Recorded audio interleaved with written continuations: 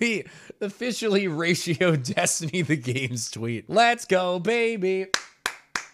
It doesn't mean much, but it was a fun little mini game, and I feel good about it. It's just funny. They're like, post your favorite clips, and it's just me getting full scent cheated on.